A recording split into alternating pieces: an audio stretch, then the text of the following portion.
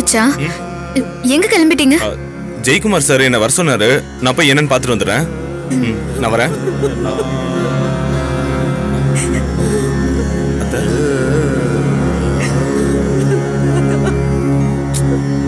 பூமிகா அத்தையை கொஞ்சம் சமாதானப்படுத்து. சரி மச்சான். சரி நீங்க கிளம்புங்க. நான் வரேன். போங்க.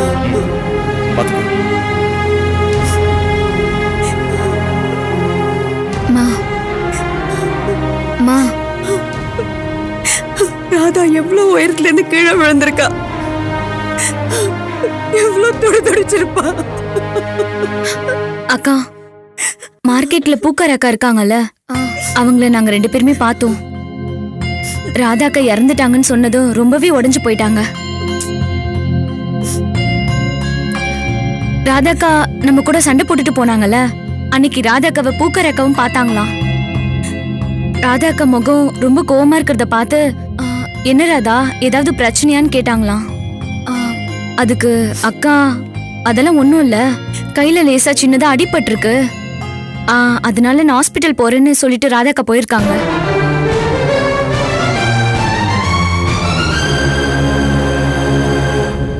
இப்படி நடக்கும்னு தெரிஞ்சிருந்தா நானே ராதாவை வீட்டுக்கு கூட்டிட்டு போயிருப்பேன்னு பூக்காரக்கா ரொம்ப ஃபீல் பண்ணாங்க நீ.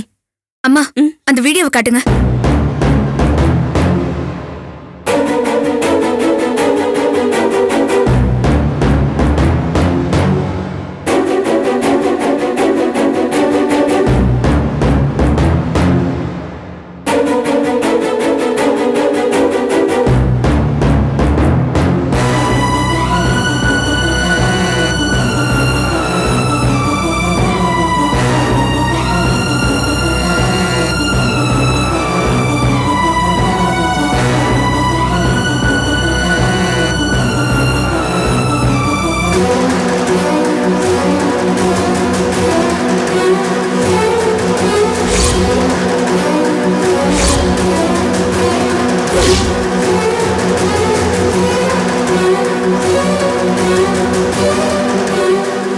பூமிகா அம்மா இதோ இது பாருங்க.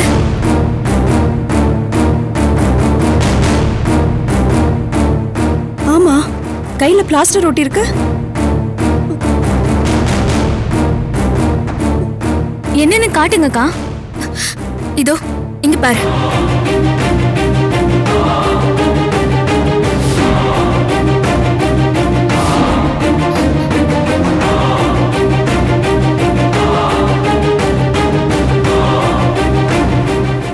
கூட சண்டை போட்டுட்டு போகும்போது அவ கையில இந்த பிளாஸ்டர் இல்லையே. அப்போ அவ இங்க இருந்து போனதுக்கு அப்புறம் அவளுக்கு ஏதோ ஒரு பிரச்சனை நடந்திருக்கணும். அதுக்கப்புறம் தான் அவ உடம்புல அந்த போதைப் பொருளை ஏத்திருக்கணும். அதான் அந்த சிவராம் தான் அது அக்கா உடம்புல ஏத்திருக்கணும்னு போலீஸே சொல்றாங்கல்ல. இல்ல ஜோதிகா இந்த வீடியோல ஒரு விஷயத்த நீ நல்லா கவனிச்சனா உனக்கு புரியும். ராதா தள்ளாடிக்கிட்டே நடந்து போய் தான் அந்த கட்டடத்துக்குள்ள போறா. அவ கீழே விழுந்ததுக்கு அப்புறம் தான் சிவராம் அந்த கட்டடத்துல இருந்து வெளியே வரா.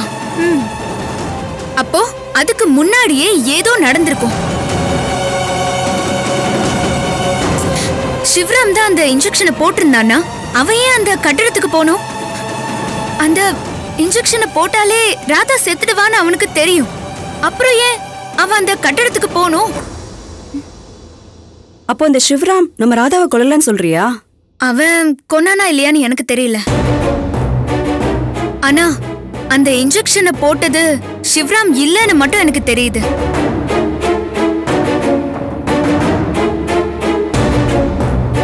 அப்படி போட்டிருந்தா அவ அவளை ஃபாலோ பண்ணி தான் வந்திருக்கணுமே தவிர ஏற்கனவே கட்டிடத்துல எப்படி இருந்திருக்க முடியும்? பூக்கார் அக்கா சொன்னதை வச்சு பார்த்தா கையில அடிபட்டிருக்குன்னு சொன்னப்ப கூட ராதா நார்மலா தான் பேசியிருக்கா. ம். அவ ஹாஸ்பிட்டலுக்கு போன பிறகுதான் இந்த இன்ஜெக்ஷனை அவ உடம்புல ஏத்திருக்கணும். அதுக்கு முன்னாடி அவ கையில அடிப்பட காரணம் என்னன்னு நம்ம கண்டுபிடிக்கணும். நீங்க சொல்றதெல்லாம் சரிதான்க்கா. இதெல்லாம் ஏன் சிவராமோட பிளானா இருக்க கூடாது அதையே இப்படி யோசி ஜோதிகா. வேற யாரோ ஒருத்தன் கொலை பண்ணிட்டு ஏன் சிவராம இந்த கேஸ்ல மாட்டி விட பிளான் பண்ணிருக்க கூடாது?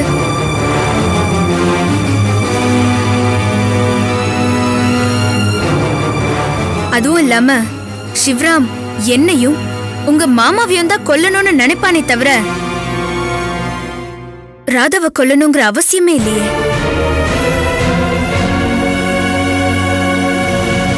ராதாவுக்கு எப்படி அடிபட்டுச்சு? எந்த ஹாஸ்பிடல்ல அவ ட்ரீட்மெண்ட் எடுத்துக்கிட்டான்னு தெரிஞ்சதுன்னா உண்மையான குற்றவாளி யாருன்னு கண்டுபிடிக்க வாய்ப்பு இருக்கு. அது எப்படி பூமிகா கண்டுபிடிக்க முடியும்? ராதாக்கு என்ன பிரச்சனை? எப்படி அடிபட்டுச்சுன்னு யாருக்கு தெரியும்? கண்டிப்பா தெரியுமா யாராவது ஒருத்தர் பார்த்திருப்பாங்க. பூக்கார் அம்மா பார்த்த மாதிரி அதுக்கு முன்னாடி ராதாவை யாராவது கண்டிப்பா பார்த்திருப்பாங்க. அந்த ஒருத்தர் யாருன்னு நம்ம கண்டுபிடிக்கணும். அவ்வளோ ஈஸியா அதை கண்டுபிடிக்க முடியுமாக்கா? முடியும் ஜோதிகா. அதுக்கு என்கிட்ட ஒரு ஐடியா இருக்கு.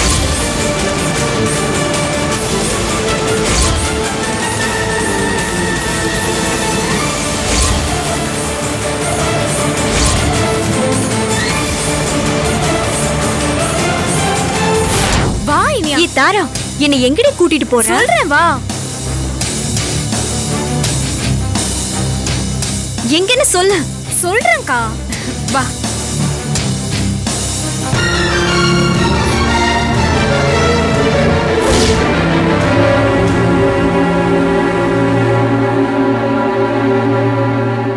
என்ன கூட்டிட்டு வந்தியா? இனியா ஒரு நிமிஷம் நில்லு. இனியா நான் சொல்றத கேளு. நில்லு இனியா. இனியா. போகாத நில்லு. ஏய். நில்லு. நான் உன்கிட்ட கொஞ்சம் பேசணும். என்ன? நீ எனக்கு கல்யாண பத்திரிக்கை கொடுக்க போறியா? ஏ ஏன் நீ இப்படி புரிஞ்சுக்காம பேசுற? எங்க வீட்டுல நடக்கிறதுக்கும் எனக்கும் எந்த சம்மந்தமும் இல்ல. உனக்கு சம்மந்தம் இல்லாம தான் உனக்கும் உன் அத்தை பொண்ணுக்கும் கல்யாணம் பேசி முடிச்சாங்களா? என் அம்மா கிட்ட ஆசை வார்த்தை பேசி கூப்பிட்டதும் இல்லாம அவங்க முன்னாடியே உனக்கு நிச்சயதார்த்தம் பண்ணி முடிச்சிருக்கீங்க. நீயும் உன் குடும்பத்துல இருக்கிறவங்களும் ஏன் இந்த மாதிரி எல்லாம் பண்ணீங்க? ஏய் லூசா நீ. எனக்கே தெரியாதுன்னு சொல்றேன் நம்ப மாட்டியா? நானும் உன்ன மாதிரிதான். உனக்கு எனக்கு தான் நிச்சயதார்த்தம் நினைச்சிட்டு இருந்தேன். ஆனா எங்க பாட்டியும் எங்க அத்தையும் இப்படி ஒரு விஷயத்த பண்ணுவாங்க நான் கொஞ்சம் கூட எதிர்பார்க்கல. சித்தார்த் ஏன் இப்போ நடந்து முடிஞ்சதை பத்தி பேசிட்டு இருக்கீங்க? இனிமே நடக்க போறத பத்தி பேசுங்க. இனிமே நடக்கிறதுக்கு என்ன இருக்கு? அதான் எல்லாமே நடந்து முடிஞ்சிருச்சே. அவங்க வீட்ல ஆசைப்பட்ட மாதிரியே. பிரியாவை கல்யாணம் பண்ணிக்கிட்டு அவரை சந்தோஷமா இருக்க சொல்லு. நானும் அந்த ராஜ கல்யாணம் பண்ணிக்கிட்டு எப்படியோ வாழ்ந்துக்கிறேன். எங்க? என் கண்ணை பார்த்து சொல்லு. நான் இல்லாம உன்னால வாழ்ந்துட முடியுமா நீயா? சொல்லு நீயா. உன் மனசுல நான் இல்ல. இதுக்கு முன்னாடி என் மனசு முழுக்க நீ மட்டும்தான் இருந்த. ஆனா இப்ப இல்ல. எல்லாத்தையும் விட்டுட்ட. நீயும் விட்டுரு. சொன்ன உடனே விடுறதுக்கு இதெல்லாம் கெட்ட பழக்கமா? லவ் இனியா அவ்வளவு சீக்கிரம் உன்னாலே என்ன விட முடியாது. என்னாலே உன்னை விட முடியாது. இப்ப எனக்கு என்னதான் பண்ண சொல்ற? இந்த ஊர்ல இருந்தா தானே பிரச்சனை. வா நம்ம எங்கேயாவது போயிடலாம். ஓடி போய் கல்யாணம் பண்ணிக்கலாம்னு சொல்றியா? ஆமா. அதுக்கு முன்னாடி எங்க அம்மாக்கு ஒரு பாட்டில் விஷம் வாங்கி கொடுத்துட்டு சாவடிச்சுட்டு போயிடலாம். இனியா. ஏற்கனவே நிச்சயம் பண்ண கல்யாணம் நின்னு போச்சு. இப்ப பொண்ணு ஓடி போயிட்டான்னு சொன்னா ஊரே வந்து எங்க அம்மாவை காரி துப்போம் அப்புறம் அவங்களால மான மரியாதையோட வாழ முடியுமா? என்ன ஊரு ஊருன்னு சொல்லிட்டு இருக்க நம்ம அம்மா நம்மள வச்சு கஷ்டப்பட்டப்போ இந்த ஊரை நமக்கு சப்போர்ட் பண்ணுச்சு? இங்க பாரு அம்மாவை நான் சமாளிச்சுக்கிறேன். சித்தார்த் சொல்ற மாதிரி நீங்க ரெண்டு பேரும் வெளியூர் போறது தான் நல்லது. என்ன நீயா யோசிக்கிற? நான் சொல்றது கொஞ்சம் கேளு.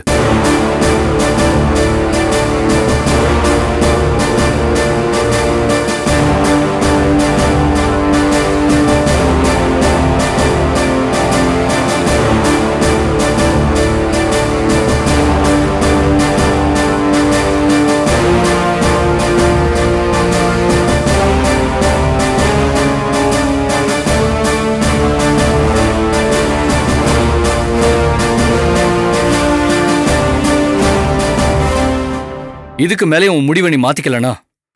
அப்புறம் உன் இஷ்டம்.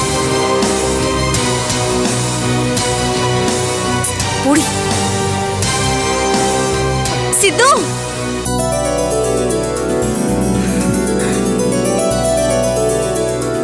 சரி நாம இன்னைக்கு இந்த ஊரை விட்டு போயிடலாமா?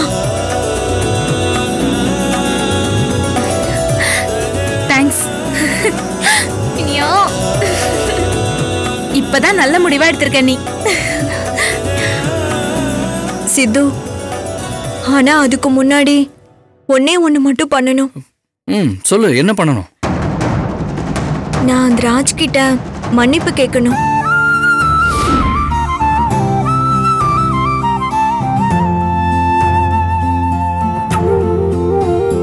இப்ப அதெல்லாம் எதுக்கு? நீ சும்மா இருடி. நாங்க ரெண்டு பேரும் பண்ண தப்புக்கு பாவம். அவரு ஏண்டி தண்டனை அனுபவிக்கணும்?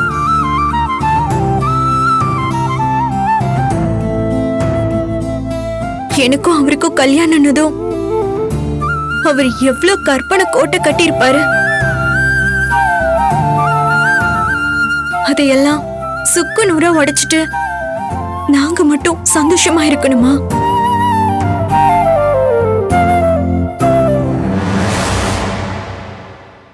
என்ன இருந்தாலும் நான் அவருக்கு பண்ணது துரோகம்தான்.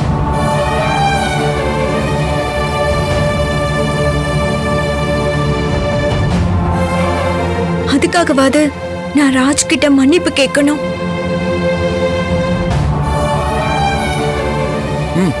கரெக்ட் நீயா. நீ மட்டும் இல்ல. நாம ரெண்டு பேருமே அவர்கிட்ட மன்னிப்பு கேட்கணும். வா.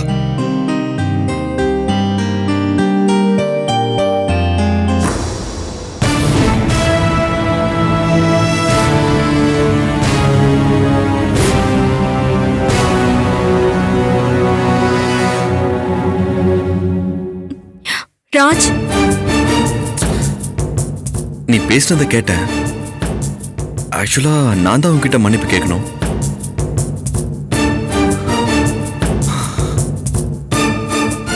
பிரதர் இப்படிப்பட்ட ஒரு பொண்ணை என்கிட்ட இருந்து தூக்கிட்டேன்னு நான் உன் மேல கொலை வெறியில இருந்தேன். ஆனா நீ இனிய மேல எவ்வளவு லவ் வச்சிருக்கன்னு புரிஞ்சதுக்கு அப்புறம் உன் மேல இருந்த கோவம் எல்லாம் போயிடுச்சு. உங்க ரெண்டு பேரையும் போட்டு தலாம் தான் நான் வந்தேன். உங்க லவ் மட்டும் முக்கியம் இல்ல. என்னையும் ஒரு மனுஷனா நினைச்சு என்கிட்ட மன்னிப்பு கேட்கணும்னு நினைச்சீங்க பாருங்க. உங்க மேல மதிப்பு கூடி அப்பவே கோவம்லாம் பறந்து போச்சு. ஒன் சைடா லவ் பண்ண எனக்கே இவ்வளவு வழி இருக்குன்னா டபுள் சைடு லவ் ரொம்பவே கஷ்டப்பட்டிருப்பீங்களே லவ்வும் வாழணும் பிரதர் லவ்வர்ஸும் வாழணும். அப்பதான் காதலுக்கே ஒரு அர்த்தம் இருக்கும். எதுக்கு ஓடி போய் கல்யாணம் பண்ணிக்கிறீங்க? இங்கேயே. இப்பவே கல்யாணம் பண்ணிக்கோங்க.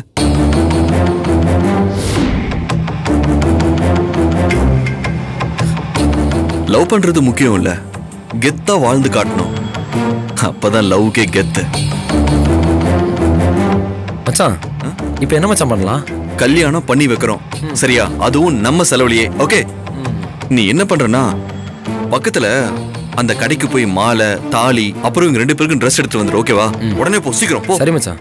சீக்கிரம் வந்துடுறா புத்துக்கோயில் கிட்ட ம் சரி சரி வந்துடுறேன். பிரதர் அப்புறம்? ஹாப்பி தானே? ம் ம்.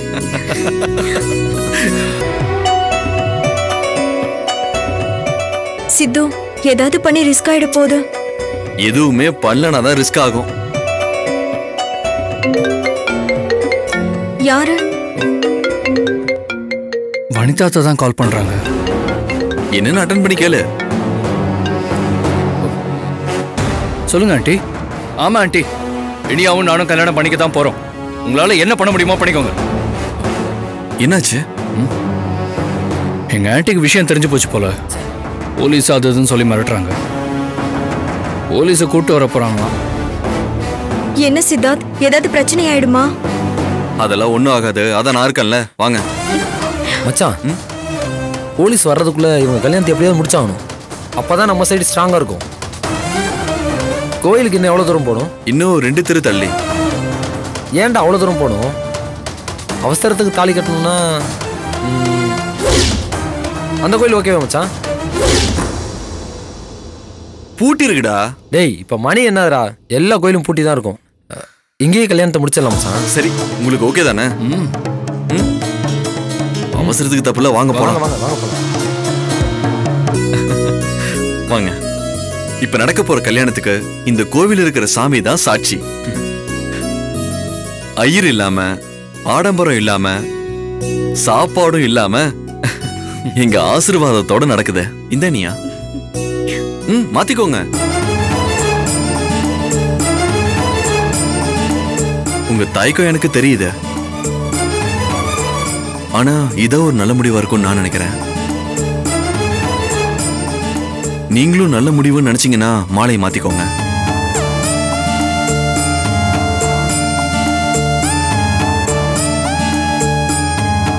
மாலையை போடு. போடுறி?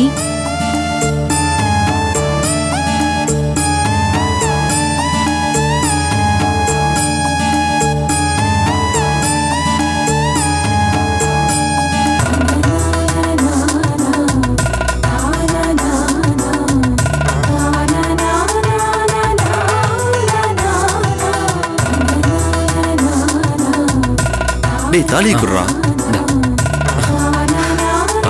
இந்தாங்க. ம் கட்டு.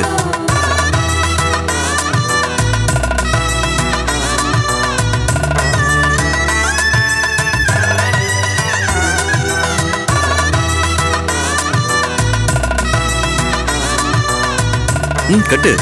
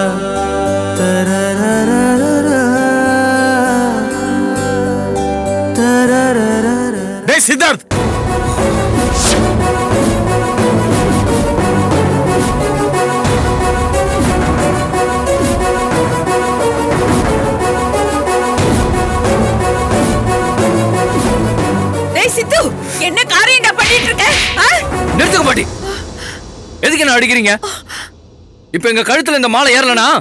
இந்நேரம் நாங்க இந்த ஊரை விட்டே போயிருப்போம். ஐயோ கடவுளே. டேய் சித்தார்த் என்னடா இதெல்லாம்? பெருமாள் சாமியோட பேரன்டா நீ? இப்படி நடு ரோட்ல அனாதையா கல்யாணம் பண்ணிக்கிறிய?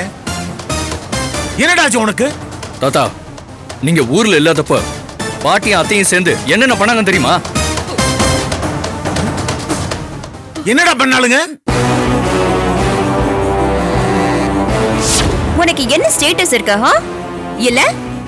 உன் பொண்ணு என்ன பெரிய உலக அழகி ஐஸ்வர்யா ராயோட தங்கச்சியா அக்காவா?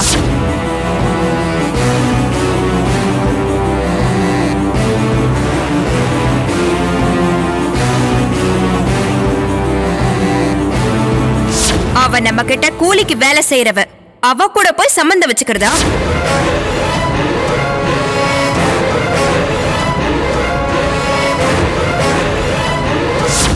என்னோட பேரு சித்தார்த்த. என்னோட பேத்தி பிரியாவுக்கு கல்யாணம் பண்ணி வைக்க நான் மனப்பூர்வமா சம்மதம் தெரிவிக்கிறேன்.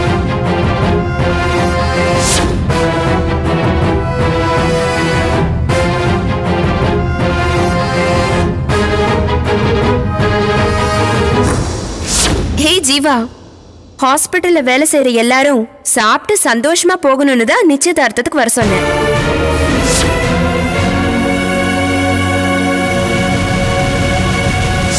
கடவுளே. இதான் தாத்தா நடந்தது. அதான் நாங்க இப்படி ஒரு முடிவுக்கு வந்துட்டோம்.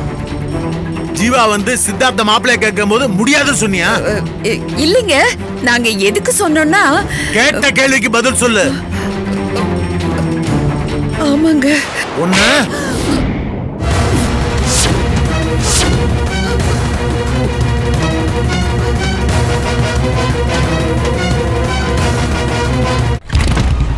இவ எனக்கு சொந்தமானவன் எனக்கு மட்டும்.